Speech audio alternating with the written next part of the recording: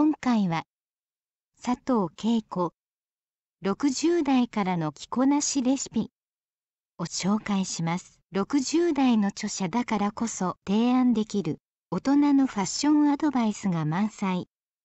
体型や見た目の変化に合わせた着こなし方を分かりやすく解説。デザインの選び方色の使い方小物の使い方など素敵な着こなしの実例を掲載。とても分かりやすく見やすい本でした。今までこんな本なかったような気がします。ありがとうございます。教科書のような本であり納得の共感本であり今更誰にも聞けなかったことが明確に表現され嬉しいか限りです。私も少し品格と清潔感のあるおしゃれをしようかしら。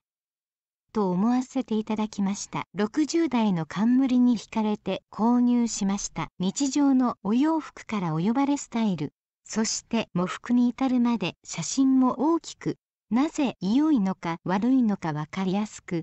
そして共感できる文章に元気づけられました。年を重ねても素敵なデザインの服が着られるんだ。目から鱗が落ちました。以上。